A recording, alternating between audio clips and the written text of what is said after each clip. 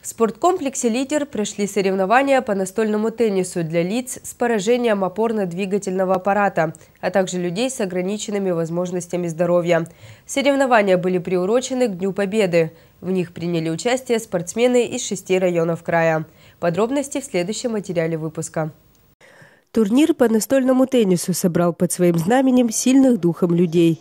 Тех, кто, несмотря на невзгоды, продолжает жить дальше и радоваться каждому дню. Один из них – житель краевой столицы Иван Вершигора. Он всегда вел активный образ жизни. В инвалидном кресле оказался после неудачной поездки в горы, где, упав с вершины, Иван получил серьезные травмы. Но он не опустил руки, увлекся настольным теннисом, и вот спустя четыре года Иван Вершигора является неоднократным победителем краевых и всероссийских соревнований. Я занял четвертое место на России, а сейчас я второй в Краснодарском крае. Вот. И это очень интересное соревнование. Приезжают люди со всего Краснодарского края. А, вот, самые лучшие соревнования, которые проходят по настольному теннису в Краснодарском крае, потому что у нас и в Краснодаре маленький зал, а здесь зал отличный, много свет, светлого, э, светлое помещение, высокие потолки, то, что надо для настольного тенниса.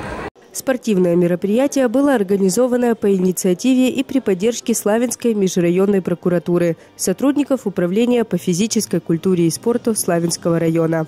Проведение вот таких спортивных мероприятий с лицами с ограниченными возможностями, как вы уже знаете, стали традиционными для Славянской межрайонной прокуратуры. Сегодня э, к нам приехало 6 команд, 41 участник.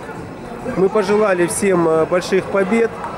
Мы еще преследуем задачу обратить внимание наших славянцев на проблемы людей с ограниченными возможностями. По результатам турнира, как и в любых соревнованиях, определили победителей. Славянские спортсмены продемонстрировали отличную игру. Заслуженные награды получили более 10 воспитанников детско-юношеской спортивной школы «Изумруд» и физкультурно-спортивного клуба «Славяне», представлявших наш район на соревнованиях. Победителям и призерам были вручены почетные грамоты и памятные призы.